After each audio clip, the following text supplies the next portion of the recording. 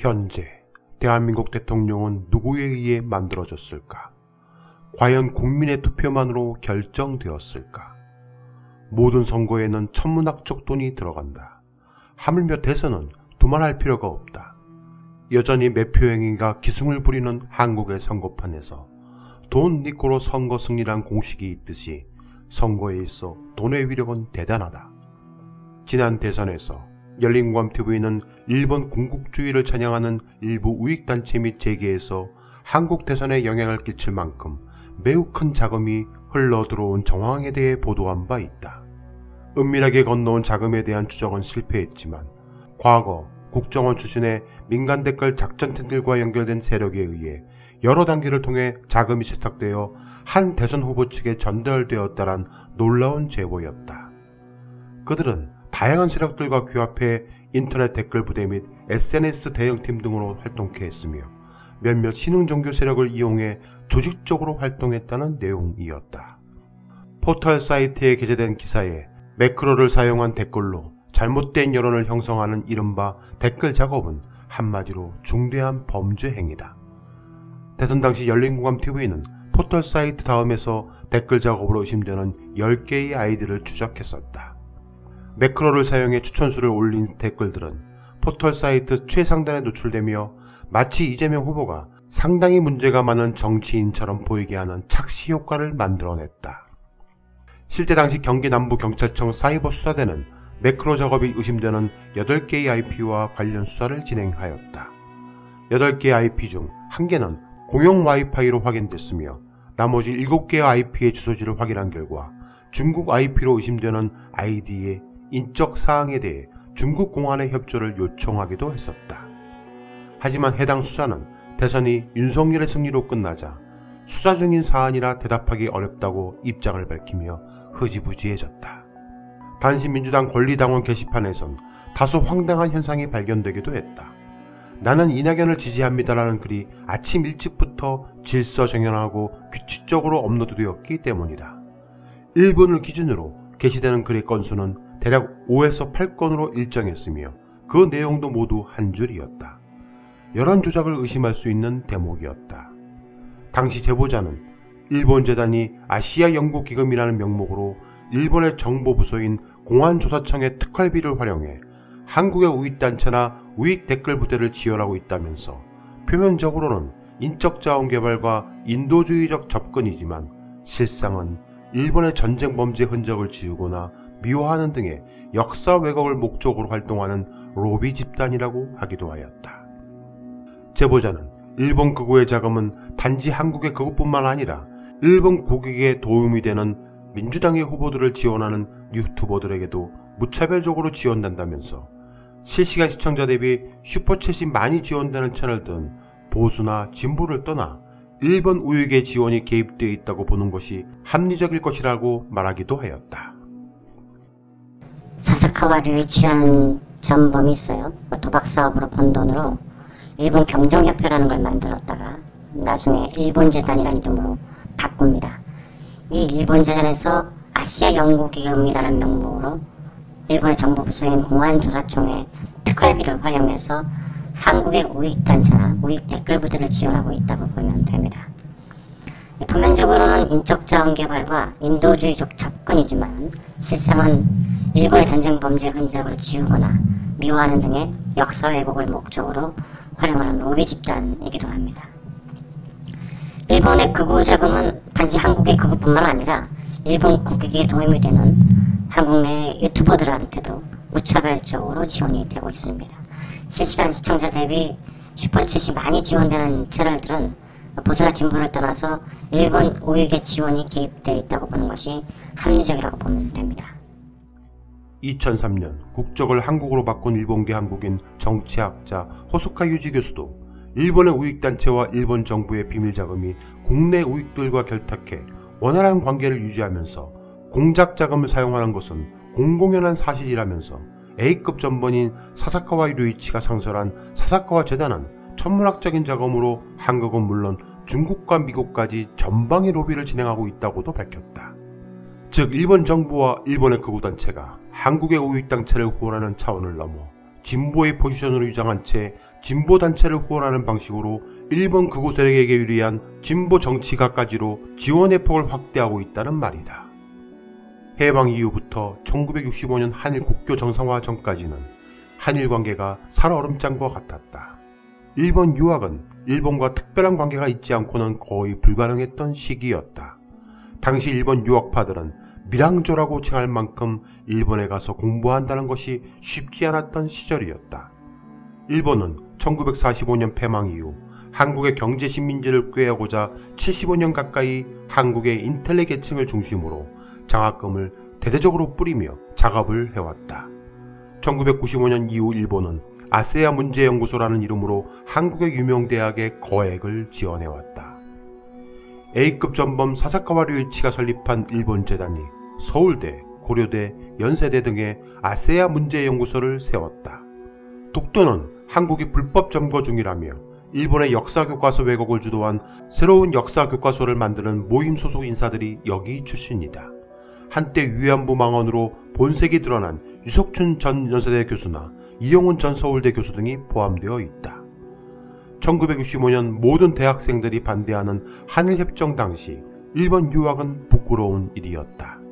당시 일본 문무성에서 한국의 엘리트들을 포섭하고 회유하기 위해 거액의 장학금을 살포했는데 그 당시 첫 번째 대상으로 선정된 사람이 있었다. 그가 바로 윤석열의 아버지 윤기중 씨다. 윤석열 대통령의 부친 윤기중 씨는 일본 문무성 1호 장학생으로 일본 동경상대에 유학한 후 1997년까지 연세대 응용통계학과 교수를 지냈다. 그가 바로 이 대학에서 일본 문무성 장학생으로 유학하여 석사를 취득했다. 알 수 없는 것은 윤규중 씨의 이력에 히토스바시 대학 이력이 지금은 빠져 있다는 것이다. 열린공감TV는 윤석열 대통령이 아버지 윤기중 씨가 다녔던 일본 히토시바시 대학에 연이은 사법고시 실패 후 잠시 유학을 다녀왔다는 제보를 받기도 하였다.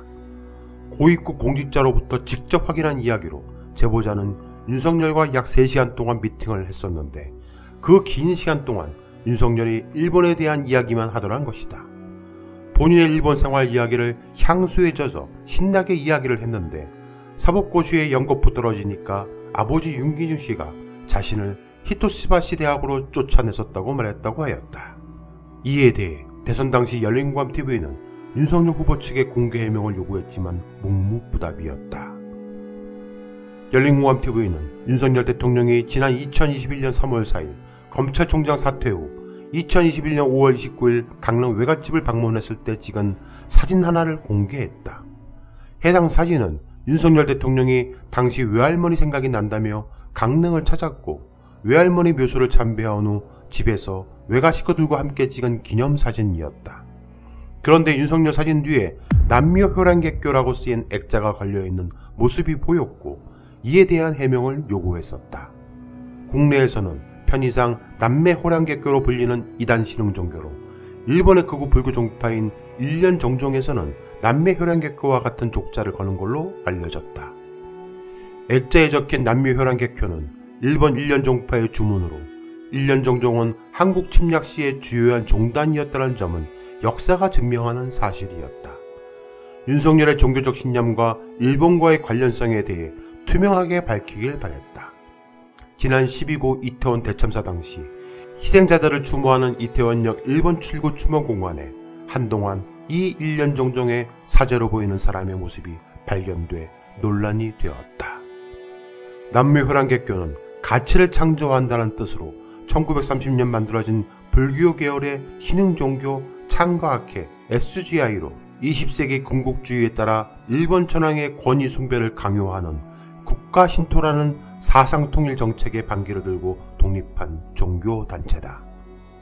이처럼 윤석열 주변에 친일적 인사들이 다수 포진돼 있고 종교적 색깔 또한 일본에 가까워 보이는 데다 지난 대선 과정에서 윤석열 후보의 유세 현장 곳곳에 히토히로 천황폐하 만세, 아베 만세 등을 외치는 선거 운동원들이 자주 나타나는 등 그의 정체성에 논란이 야기되기도 하였다.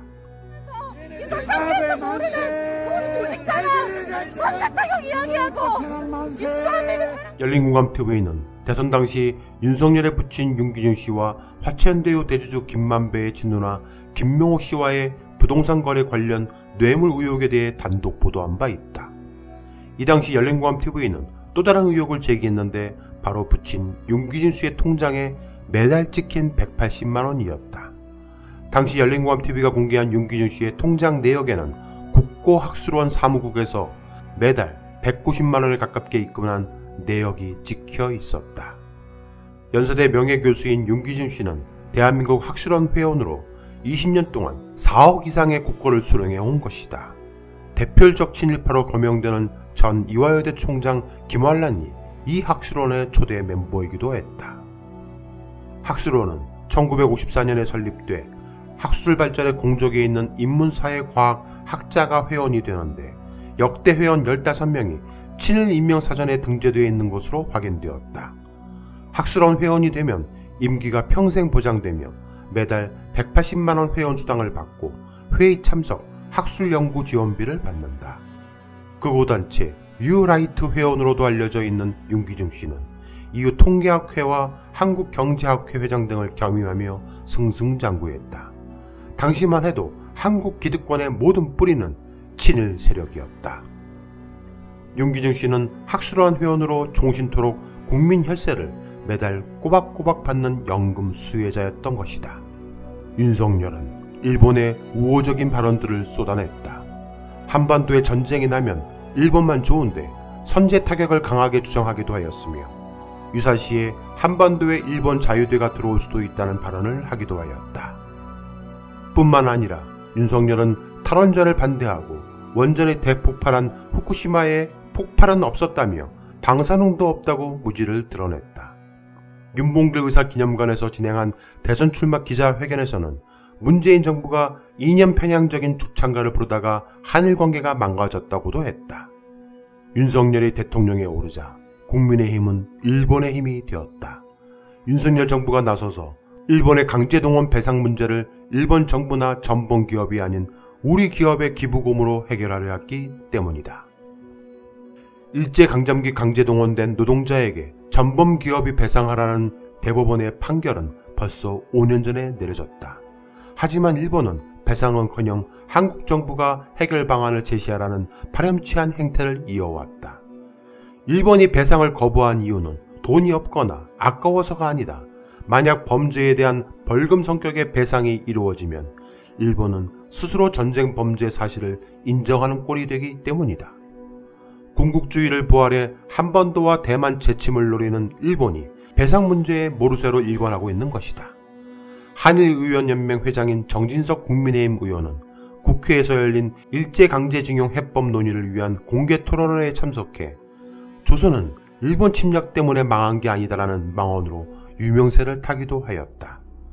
2018년 대법원 판결은 일본의 조선에 대한 식민재배가 불법이며 침략전쟁의 수행과 직결된 강제동원, 강제노동이 반인도적 불법 행위라는 점을 명확히 밝혔고 수십 년간 싸워왔던 일제강제동원 피해자들의 역사적인 승리였다. 하지만 윤석열 정부와 국민의힘은 일본 정부에게 면죄부를 주는 행위를 서슴치 않고 있다. 윤석열은 일본의 군사 대국화 움직임을 옹호하는 발언을 하기도 했다. 유사시에 한반도에 네. 에, 그러니까 일본이 개입하도록 허용하는 건데 그거 그죠? 하시겠습니까? 저게 한미일 동맹이 있다고 해서 유사시에 들어올 수도 있는 거지만 꼭 그걸 전제로 하는 동맹. 그럼 미국 MD는 어떻습니까? 일본의 3대 국가안보문서 제정으로 미국이 원하면 일본 자유대가 한반도 진출을 할 수 있고 독도 영유권을 공식화하고 있다. 이런 가운데 윤석열 대통령은 침략과 식민지배 등 과거사에 대한 반성 없는 일본의 행태를 묵인한 채 일본의 군사 대국화 움직임을 너무 쉽게 합리화하고 있는 것이다. 윤석열은 대선 기간부터 한일 관계 정상화를 공약으로 내걸었고 취임 이후에도 일본의 우호적인 인식을 여러 차례 드러낸 바 있다. 실제로도 박진 외교부 장관은 부임 후 일본을 첫 번째 방문국으로 정했고 윤석열 대통령은 2022년 6월 나토 정상회의에서도 기시다 일본 총리를 만나 관계 개선 의지를 밝힌 바 있다. 또한 2022년 광복절 경축사에서 일본은 세계 시민의 자유를 위협하는 도전에 맞서 함께 힘을 합쳐 나가야 하는 이웃이라고 발언했다. 벗어나야 하는 대상이었던 일본은 이제 세계 시민의 자유를 위협하는 도전에 맞서 함께 힘을 합쳐 나아가야 하는 이웃입니다. 지난 2월 16일 주한 일본 대사관 주최로 서울 용산의 그랜드 하얏트 호텔에서 열린 나루히토 일왕 생일 기념 행사에서 처음으로 일본 국가인 기미가요가 연주됐다. 일본 산케이 신문은 윤석열 정부의 지향점이 이번 기미가요 연주에 반영됐다고 분석하기도 했다. 주한 일본 대사관은 이날 오후 윤석열 대통령실이 있는 용산의 그랜드 하얏트 호텔에서 국내 인사들을 초청한 가운데 나루히토 일왕 생일 기념 립세션을 개최했다. 이날 행사장에 군국주의의 상징인 일본 기미가요가 처음으로 울려 퍼진 것이다.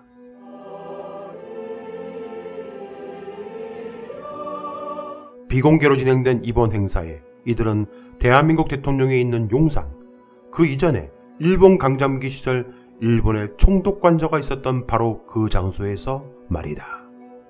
이번 소식을 특보라 보도한 산케에는 일본 정부는 한국에서 반일 감정 때문에 예년에 국가를 트는 것을 미뤘으나 지난해 출범한 윤석열 정권이 대일 관계 개선을 목표로 하는 가운데 일본 정부도 삐걱대는 양국 관계를 벗어날 혹이라고 설명했다. 일본 국가인 기미가요 가사에는 이미 치세는 천대에 8천대의 작은 조약돌이 큰 바위가 되어 이끼가 낄 때까지라는 구절이 있다. 가사 중 이미 일왕을 의미하며 기미가요는 일왕의 치세가 영원히 이어지길 기원한다는 점에서 군국주의 일본을 상징한다. 한국에서 일왕 생일 기념 립세션이 열린 것은 코로나19 영향 등으로 2018년 12월 이후 4년 3개월 만이며 나루히토 일왕이 2019년 5월 즉위한 이후로는 처음이다.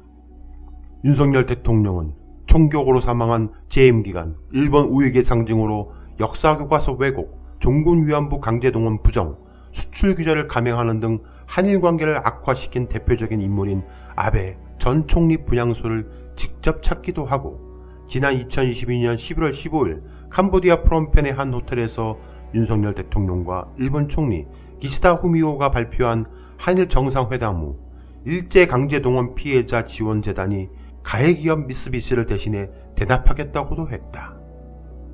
윤석열 대통령은 취임 이후 한미일 군사협력 강화를 외치고 있으며 심지어 북한을 이유로 일본의 재무장을 합리화하는 반역사적 자태를 보이고 있다. 윤 대통령은 자유대의 공해상 군사훈련을 양해한 데 이어 한국 군대가 일본 관함식에서 우글기에 격리하는 등 일본을 맹종하는 행태까지 보여왔다. 윤석열 대통령의 부인 김건희는 지난 2002년 4월 일본 사진작가인 키토히로 사토 일본 도쿄예술대학 교수와 친분을 맺었다. 그가 공개한 영상에는 김건희의 모습이 담겨 있었다. 열린국감TV가 취재한 바에 따르면 윤석열과 김건희를 맺어준 조남욱 삼부토건 회장의 일정이 적힌 메모에 지난 2007년 10월 29일 신임 주한 일본 대사 환영 오찬을 연대 이어 같은 해 12월 7일에는 롯데 호텔에서 열린 일본 천황 탄생 축하 연회에 참석한 사실을 밝혀냈다. 당시 조남욱은 일본 천황만세 삼창을 했었다고 한다. 김건희는 라마다 르네상스 호텔의 사주 조남욱 회장의 수발비서로 알려졌으며 당시 그의 예명은 줄리였다.